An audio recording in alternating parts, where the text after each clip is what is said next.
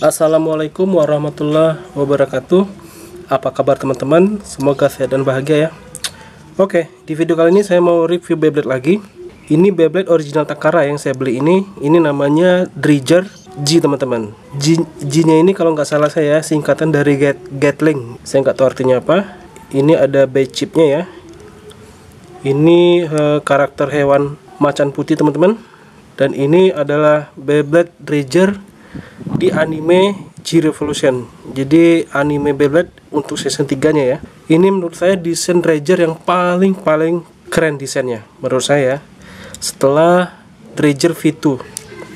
Kalau kalian Ranger mana yang kalian yang kalian menurut kalian keren? Komen di bawah ya. Uh, Dredger G ini uh, dia mata blade-nya ini atau mata tag-nya ini ada tiga ya teman-teman. Yang namanya Dredger itu dia ada dua ya dua mata pisau ya saya ngom saya bilangnya seperti itu istilahnya di Beyblade ini Dredgernya ada tiga teman-teman dan menurut saya ini keren banget ya ini kayak ini ya kayak pusaran air gitu ya atau pusaran angin gitu ini keren banget nih bodinya dan ini yang suka saya suka juga bagian ininya tebal entah kenapa ya saya tuh lebih suka Beyblade yang bagian attack rank attack ranknya itu tebal ya lebar seperti ini daripada yang tipis teman-teman kayak ini bagian bawahnya Beyblade ini saya beli di Tokopedia di toko yang sama. Ini harganya saya beli 280.000 teman-teman. Ini bekas ya, tapi ini bekasnya original Takara dan ini memang uh, Beyblade-nya masih mulus banget teman-teman. Ini enggak ini kayaknya bener-bener hanya rakit pajang aja jadi nggak ada bekas betalnya di sini. Karena kalau saya lihat di sini nggak ada bekas ini ya bekas plastik yang cowok gitu nggak ada. Masih mulus banget teman-teman. Dan uh, Dredger G ini uh, juga Dredger yang sudah menggunakan sistem mekanis spin gear seperti ini teman-teman.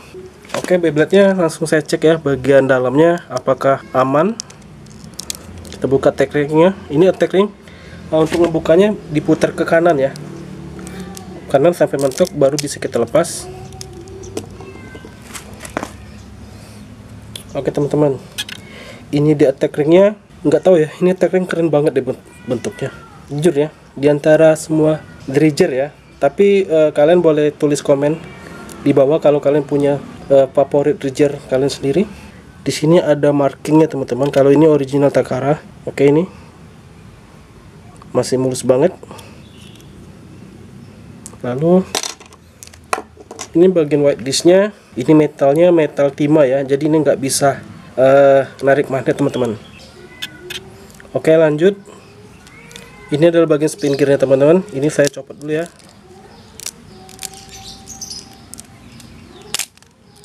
Oke. Ini spin gearnya tapi sayang banget stikernya ini udah Udah udah copot waktu saya beli. Udah nggak nempel lagi jadi nggak saya pasang stikernya. Ini dia teman-teman Spin gearnya keren ya. Spin gearnya itu uh, me lebih mekanikal banget dibandingkan dengan spin gear dari seri sebelumnya. Dan terakhir ini adalah bagian base nya teman-teman. Dan di base nya ini uh, sama seperti seri G yang lain. Jadi waktu pembeliannya ini sudah dirakit teman-teman. Jadi bagian ini sudah dirakit. Karena di dalam sini ada mekanisme uh, semacam per ya. Yang kalau kita rakit sendiri itu itu pasti sulit banget dan detail banget teman-teman ini bagian base nya juga masih mulus banget. Belum ada bekas battle gitu. Oke ini saya pasang lagi ya. Dan masang pinggirnya ini. Simple teman-teman. Lebih mudah dibandingkan bay yang seri sebelumnya. Ini attack ringnya saya pasang lagi. Ini putarnya ke kiri ya untuk menguncinya. Putar ke kiri sampai mentok oke teman-teman terima kasih sudah menonton video ini. Jangan lupa like, comment, dan subscribe. Wassalamualaikum warahmatullahi wabarakatuh. See you